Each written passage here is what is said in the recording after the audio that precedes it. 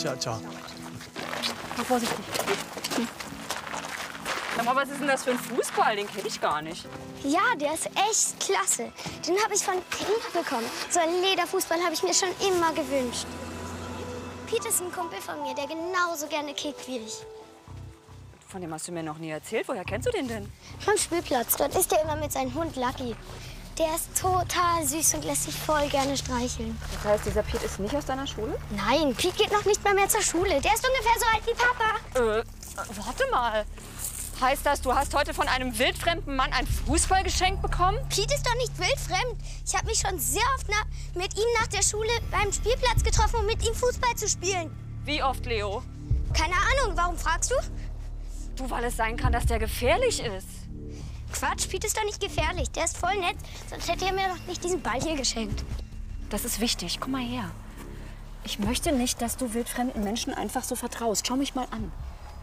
Du weißt nicht, was der von dir möchte. Bitte lass dir auch nichts schenken von Fremden, okay? Ja, muss ich den Ball jetzt zurückgeben? Nee, das musst du nicht. Aber bitte versprich mir, dass du den Pete nicht mehr triffst, ohne dass ich davon weiß, ja?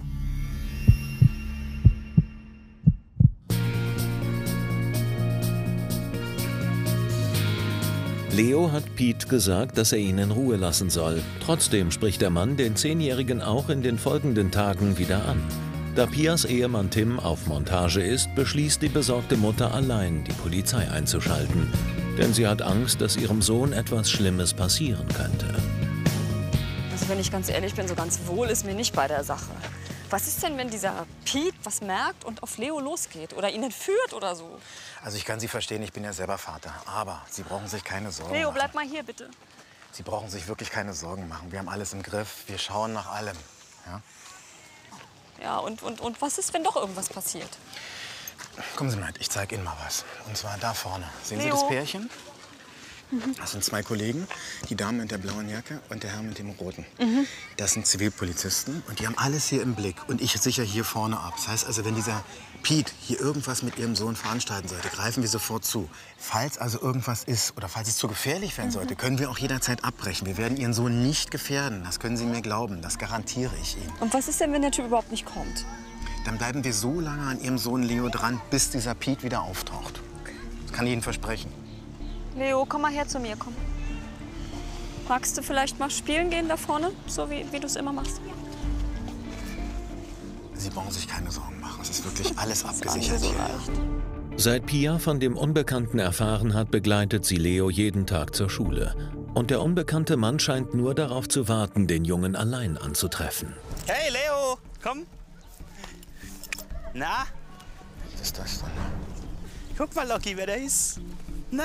Achtung, Zielperson vor Ort. Zugriff. Zugriff. Polizei. Was, was soll das? Polizei. Polizei? Ja, Wa- wa- was wollen Sie von mir? Bleiben ruhig, unser Kollege erklärt Ihnen das gleich. Ganz ruhig, geben Sie mal den Hund hier. Lassen Sie mal los. So, Sie sind vorläufig festgenommen. Festgenommen, wieso das denn? Was habe ich denn getan? Genau deswegen bin ich hier. Ich will wissen, was Sie getan haben. Als erstes Mal möchte ich Ihren Namen haben. Wie heißen Sie? Pütz, Peter. Gut, Herr Pütz. Sie haben einen zehnjährigen Jungen angesprochen. Und das nicht nur einmal, sondern mindestens zweimal. Können Sie mir das erklären? Ich habe Leo hier zufällig getroffen. Das ist doch nichts Verbotenes. Also ich sehe schon, also die Vernehmung bringt hier nichts. Wir bringen ihn auf die Wache, wenn die Vernehmung dort weiterführen und äh, die wir auch auf der Wache überprüfen. Hören Sie mal. Kommen Sie bitte Lassen Sie mich los. Ich komme ja.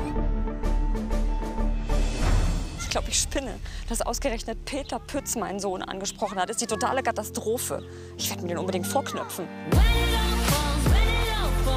Die Begegnung mit Peter Pütz ändert alles für Pia.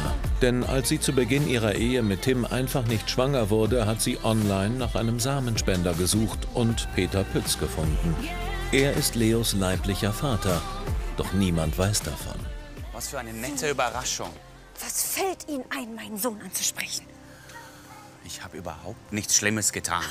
Spinnen Sie? Sie haben Leo mehrfach vor der Schule aufgelauert. Warum? Was wollen Sie? Das ist noch lange kein Grund, mir die Bullen auf den Hals zu hetzen und denen zu erzählen, dass ich pervers bin. Ja, aber ich habe ja gar nicht gewusst, dass Sie der Typ sind. Mann, Sie machen alles kaputt. Was ist los? Ich habe nur mit ihm gesprochen. Was ist denn da schon dabei? Aber Leo ist mein Sohn, nicht Ihr Sohn. Und ich verbiete Ihnen, dass Sie ihn weiter treffen. Leo ist genauso gut mein Sohn. Und als leiblicher Vater werde ich mir das Recht herausnehmen, ihn ab und zu mal zu sehen. Gar nichts werden Sie. Und wenn Sie sich nicht in Zukunft daran halten, sich von Leo fernzuhalten, dann werden Sie mich kennenlernen. Ich lass mir von Ihnen nichts vorschreiben. Schönen Tag noch. Ich hätte nie gedacht, dass irgendwann rauskommt, was ich getan habe. Ich habe solche Angst, was jetzt alles passieren kann. Am Ende versucht der Typ mir noch Leo wegzunehmen. Ich muss das unbedingt verhindern. Pia ist seit 15 Jahren glücklich mit Tim verheiratet. Sie hat sich nichts sehnlicher als ein Kind gewünscht und nur aus Verzweiflung auf eine Samenspende zurückgegriffen. Doch nun befürchtet sie, dass die Wahrheit ans Licht kommt. Voller Sorge bittet sie Anwältin Ulrike Tarsic um Hilfe. Aber wovor haben Sie denn jetzt so große Angst? Wie soll ich das denn sagen? Danke. Also, dieser Peter Pütz ist der biologische Vater von. Sie hat ein Verhältnis mit Peter Pütz? Nein, auf keinen Fall. Nein, er ist nur der Samenspender. Das verstehe ich jetzt nicht ganz, weil Sie sagten doch, Ihre Ehe sei sehr glücklich. Ja, Tim und ich, wir lieben uns. Wir wollten immer zusammen Kinder. Aber als es nach fünf Jahren in unserer Ehe immer noch nicht geklappt hat, da habe ich ihm eine künstliche Befruchtung vorgeschlagen. Aber das wollte er nicht. Ja, wieso wollte er das nicht? Tim ist in einem sehr konservativen Haushalt groß geworden. Alles, was mit künstlicher Befruchtung zu tun hat, ist für ihn unnatürlich. Aber für Sie war klar, Sie wollten unbedingt Kinder und konnten das so jetzt auch nicht akzeptieren. Ja, absolut. Ich war total verzweifelt. Und, und dann habe ich in der Zeitung von diesem Artikel gelesen, dass es auch äh, private Samenspender gibt. Und den Peter Pütz habe ich dann auf, auf so einer Samenspender-Internetseite gefunden. Okay, ich habe davon auch gehört. Das scheint ja ein äh, lukrativer Erwerb zu sein für die Herren der Schöpfung. Ich glaube aber bei staatlichen Stellen ist das, glaube ich, auf 15 Spenden begrenzt. Bei privaten weiß ich das jetzt nicht genau. Ähm, wie war es denn bei Ihnen mit der Spende? Ich habe mich mit Herrn Pütz an seinem Bootshaus getroffen und er hat mir die Spritze mit dem Samen übergeben. Und wir haben dann vereinbart, wenn ich schwanger werde, bekommt er 500 Euro. Wissen Sie was, macht es denn keinen Sinn, wirklich noch mal mit Ihrem Mann zu sprechen? Dass Sie ihm die Wahrheit sagen? Ich meine, Sie sagen, äh, Ihre Ehe ist intakt, Sie lieben sich. Das wird er Ihnen doch verzeihen. Nein, er wird es nicht verstehen. Glauben Sie es mir. Ich kenne Tim gut. Das ist für den total. äh, Das ist eine Katastrophe, dass ich ihn so angelogen habe. Mhm. Und wenn wir versuchen, gemeinsam mit jemandem zu sprechen? Nein, bitte, bitte, es macht keinen Sinn. Können, können wir denn nicht gegen diesen Peter Pütz irgendwas machen? Irgendwas gegen ihn erwirken? Ich möchte einfach nicht, dass er Leo und meine Familie weiter belästigt. Kann er mir Leo eigentlich wegnehmen? Ähm, haben Sie denn irgendwas mit ihm vereinbart? Haben Sie einen Vertrag geschlossen mit ihm? Nein. Nein, wir haben nur mündlich vereinbart, dass er keinen Kontakt zu meinem Kind haben soll. Und schriftlich auch nichts Gegenteiliges. Also wenn das so ist, dann ist die Rechtslage eindeutig. Dann kann er Ihnen Leo nicht wegnehmen, das ist klar. Er hat als Samenspender noch nicht mal einen Anspruch darauf, die Vaterschaft Ihres Mannes anzufechten. Das könnten theoretisch nur Sie oder Ihr Mann. Aber die Rechtslage ist da ganz klar auf den Punkt gebracht. Als Samenspender hat er keinen Anspruch darauf, Kontakt zum Leo zu haben oder ihn irgendwie zu sehen. Echt jetzt? Ja. Das sieht er aber ganz anders. Was ist denn, wenn er Leo erzählt, dass er sein Vater ist? Wissen Sie was? ähm, Lassen Sie mich doch einfach mal mit dem Herrn Pütz selber sprechen. Vielleicht kommt er ja dann zur Vernunft und hört auf äh, mit diesem Kontaktversuchen. Wissen Sie eigentlich, wie ich den erreichen kann? Haben Sie irgendwie eine Adresse für mich? Ich kann Ihnen nur sagen, wo das Bootshaus war. Mehr weiß ich auch nicht. Sagen Sie doch so freundlich und schreiben mir das einfach mal hier auf. Versuche ich mal mein Glück. Ich kann gut nachvollziehen, dass meine Mandantin Angst davor hat, dass ihr Geheimnis gelüftet wird und ihr Mann erfährt, dass er nicht der leibliche Vater von Leo ist. Das wäre für jeden Vater ein Schock. Deswegen werde ich jetzt erstmal mit dem Samenspender ähm, sprechen und ihm eindrücklich klar machen, dass er keinerlei Ansprüche hat, Leo zu sehen. Ich hoffe, er sieht das ein und lässt Leo in Ruhe. Ansonsten hat meine Mandantin wirklich ein großes Problem. Ulrike Tasic möchte ihre Mandantin unterstützen und Peter Pütz klarmachen, dass er keinerlei Rechte bezüglich des zehnjährigen Leo hat. Die Juristin hat herausgefunden, dass er Eigentümer eines Bootsverleihs ist. Am nächsten Morgen sucht sie ihn auf. Hallo, Herr Pütz. Ja, hallo? Hallo, Was kann ich für Sie tun? ich bin Rechtsanwältin Tasic. Ich bin die Anwältin von Pia Geller. Der Name wird Ihnen sicherlich was sagen. Ach, daher weht der Wind. Erst hetzt sie mir die Bullen auf den Hals und dann kommt sie mir auch noch mit einer Rechtsverdreherin. Was wollen Sie? Ich möchte Sie nur eindringlich bitten, dass Sie zukünftig den Kontakt zu Leo Geller meiden. Leo ist mein Sohn. Und ich will ihn einfach ab und zu sehen. das ist nicht Ihr Recht. Sie sind als Samenspender vielleicht der biologische Vater, okay. Aber rechtlich gesehen ist es eindeutig. Der Ehemann von Pia, der Tim Geller, das ist der Vater von Leo und der ist auch als solcher in der Geburtsurkunde von dem Jungen eingetragen. Es interessiert mich nicht, was in der Geburtsurkunde steht. Leo ist mein einziges Kind. Und ich will einfach nur sehen, wie er aufwächst und wie es ihm geht. Es hat Sie zehn Jahre lang überhaupt nicht interessiert, was mit Leo ist. Und jetzt auf einmal. Können Sie mir das bitte mal erklären? Meine Freundin, mit der ich eine Familie gründen wollte, die hat mich einfach so verlassen. Und dann ist mir halt eingefallen, dass ich ja bereits ein Kind gezeugt habe. Also für Zeugen kann ja keine Rede sein, ne? Sie haben Ihr Sperma in der Spritze verkauft. Mensch, das war doch nur dieses eine Mal. Weil ich mein scheiß Auto reparieren musste. Ich sehe das heute wirklich ganz anders. Leo ist ein Teil von mir. Ich kann das ja verstehen, aber Sie müssen auch meine Mandantin verstehen. Die möchte ihre Familie nicht verlieren. Ich habe überhaupt nicht die Absicht, Leo irgendjemanden wegzunehmen. Das können Sie auch nicht. Das habe ich Ihnen doch gerade erklärt. Dazu haben wir überhaupt gar kein Recht. Ja? Denken Sie doch mal an Leo. Meine, für den wäre das doch auch total belastend. Also, ich bitte Sie wirklich, dass Sie Ihre Position da noch mal überdenken, bevor ich zu härteren Mitteln greifen muss. Seien Sie doch vernünftig, Herr Pütz. Ich kann mir jedenfalls nicht vorstellen, Leo gar nichts mehr zu sehen. Also, dann kann ich Ihnen nur raten, überlegen Sie sich das noch mal. Aber ganz besonders. Schönen Tag.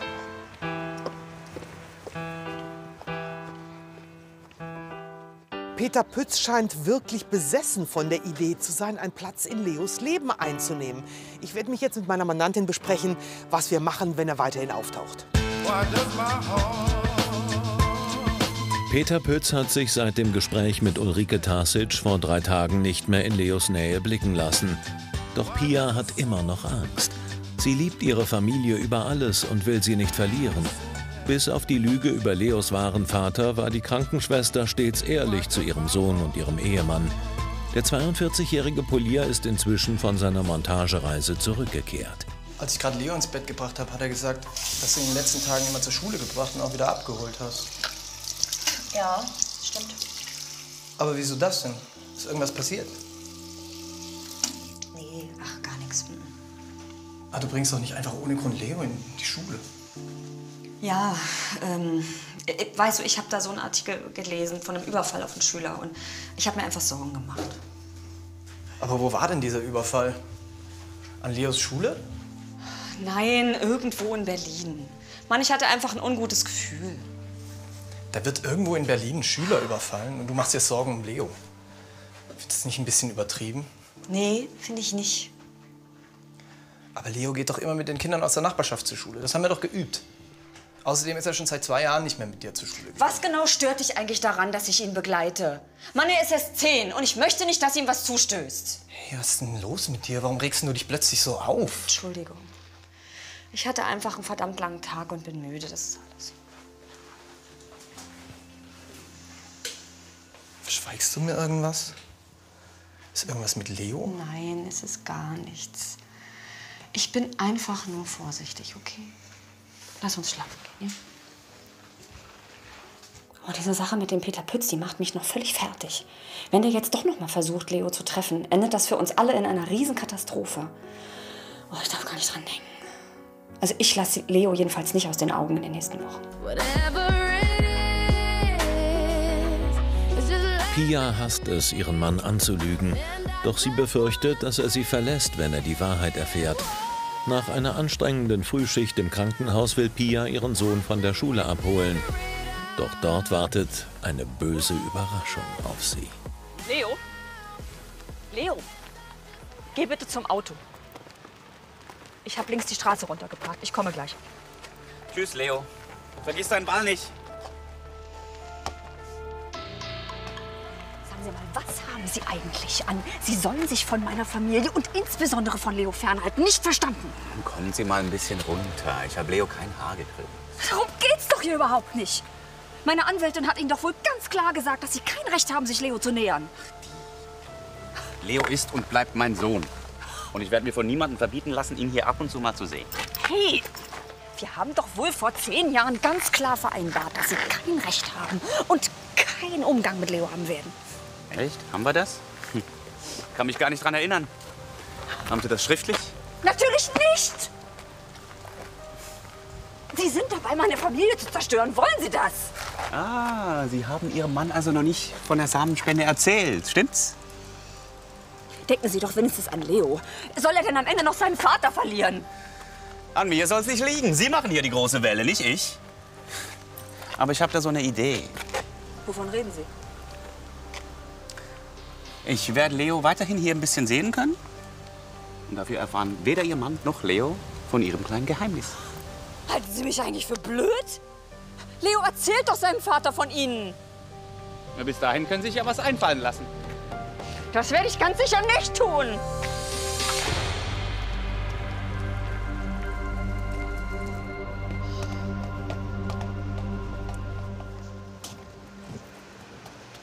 So. Mama, warum bist du sauer auf mich? Ach, Leo, Schatz, ich bin noch nicht sauer auf dich. Ich bin sauer auf Pete. Wieso? Weil er sich eigentlich von dir fernhalten soll. Aber Pete ist doch mein Kumpel und außerdem voll nett. Und ich würde ihn gerne mal mit nach Hause bringen und Papa vorstellen. Und dann könnten wir zu dritt Fußball spielen. Und Papa findet Pete bestimmt auch voll nett. Also das kommt ja nur überhaupt nicht in Frage. Das finde ich aber doof. Leo, ich weiß, das ist für dich ganz schwer zu verstehen. Bis jetzt ist nichts passiert, zum Glück. Aber die Polizei hat auch gesagt, wir sollen jetzt erst mal abwarten, bis sich alles geklärt hat. Das finde ich aber auch doof. Komm mal her. Oh Mann, Leo, pass auf. Wir warten ab, bis ich das alles geklärt habe, okay? Und bis dahin versprichst du mir, dass du Pete nicht noch mal triffst. Okay. Na komm, wir gehen raus.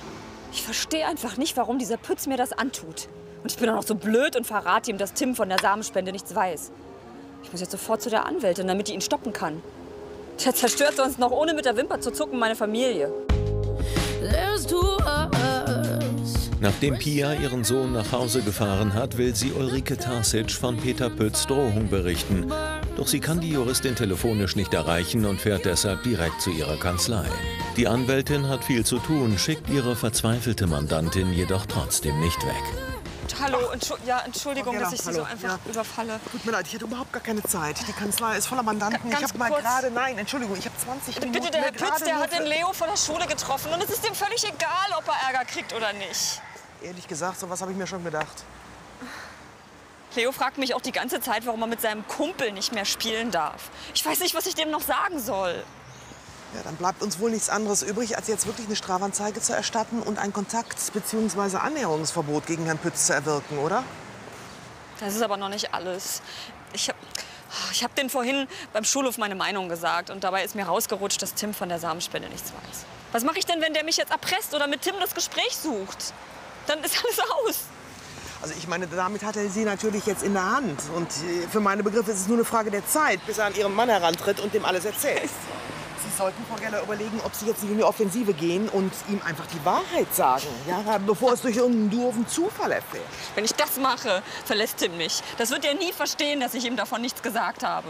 Da kann ich auch Leo gleich mit seinem Kumpel wieder spielen lassen. Frau Geller, ich verstehe Ihre Sorge, ja, aber ähm, ganz ehrlich, äh, Ihr Mann wird Ihnen doch wahrscheinlich eher eine Samenspende verzeihen, als äh, wären Sie fremdgegangen zum Beispiel. Ich meine, ich will Sie jetzt nicht bequatschen, es ist alleine Ihre Entscheidung.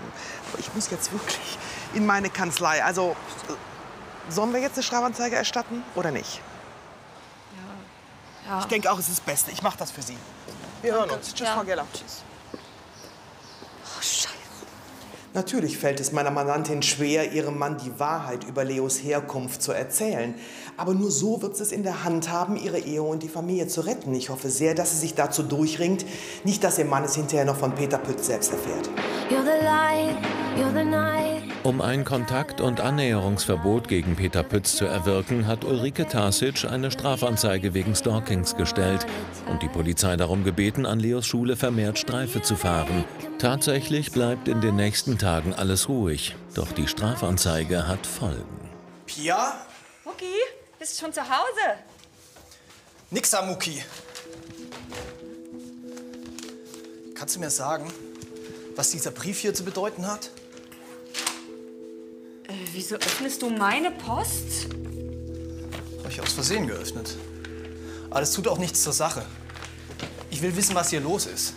Wer ist dieser Peter Pütz? Das ist alles ganz harmlos. Willst du mich auf den Arm nehmen? Wir sind Brief schreibt deine Anwältin, dass sie gegen diesen Typen Strafanzeige gestellt hat. Warum erzählst du mir nicht, dass du von irgendjemand gestalkt wirst? Ich werde doch gar nicht gestalkt. Ich verstehe nur Bahnhof. Was soll dann diese Anzeige? Dieser Peter Pütz hat sich nicht mir, sondern Leo genähert. Aber ich habe mich sofort um alles gekümmert und das kommt jetzt auch nicht mehr vor. Pia! Heißt das, irgend so ein perverses Schwein hat sich an Leo rangemacht? Tim, es ist alles gut. Ich habe mich um alles gekümmert und Leo ist nichts passiert. Ich fasse es einfach nicht. Leo ist in Gefahr und du erzählst mir kein Sterbenswörtchen davon. Stattdessen tischst du mir irgendeine Geschichte von irgendeinem Überfall auf. Was soll das? Bitte beruhige dich doch, ich habe alles im Griff. Jetzt antworte endlich auf meine Frage. Warum hast du mir nicht erzählt, dass Leo bedroht wird? Du verstehst das alles ganz falsch. Du hast so viel Stress gerade im Beruf und ich, ich, hab, ich wollte einfach dir die Sache vom Hals halten. Das ist der ganze Grund, warum ich nichts gesagt habe. Das sind doch alles nur Ausreden. Ich bin immer im Stress. Wann wolltest du mir sagen, dass unser Sohn von irgendeinem so einem Perversen gestalkt wird? Ich habe mich gekümmert. Es ist alles gut. Wirklich. Es ist, es ist nichts passiert. Erzähl dir doch nicht so Müll. Ich glaub dir kein Wort mehr. Du verschweigst mir doch was. Was hast du denn jetzt vor? Ich gehe zu deiner Anwältin, um zu erfahren, was wirklich Sache Du ist. willst was? Aber ich hab dir doch jetzt alles gesagt. B- Bitte bleib hier. Jetzt ist genau das passiert, wovor ich die ganze Zeit Angst gehabt habe. Scheiße, ich habe echt Panik. Wenn meine Anwältin Tim jetzt die Wahrheit sagt, dann ist alles aus. Was habe ich nur angerichtet?